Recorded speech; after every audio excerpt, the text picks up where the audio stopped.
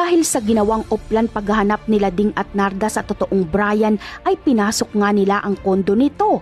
Hinalughog nga nila ang mga gamit ni Brian doon kung meron ba silang makikitang bagay na makakapagturo na peke nga ang Brian na nakakasalamuhan nila ngayon. At sa wakas nga ay napansin ni Narda ang computer na gamit mismo ng peking Brian upang makontak ang totoong Brian.